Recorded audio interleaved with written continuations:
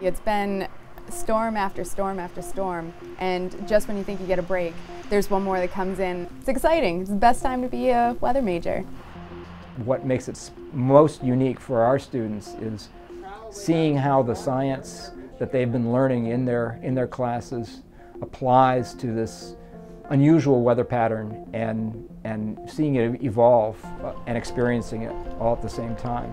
This is for coming up this weekend. The UMass Lowell Weather Center is a lot of different things.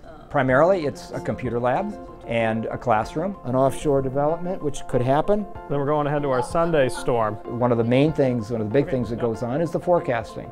The students forecast for the Weather Center webpage and that forecast process is entirely volunteer. You start out here. You just apply your radar skills, you apply your satellite uh, skills and reading um, different charts that are coming up at you and then interpolating that and putting it into an actual forecast. So it's a lot of fun.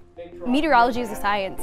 We do calculus, one, two, and three. We do chemistries. We do geosciences. And I think that's what makes this program so different is the end of the day, I have the ability to do whatever I want with my degree. I, I have the background to do research, to do National Weather Service, to do broadcasting. The Euro has the storm progressing much further east.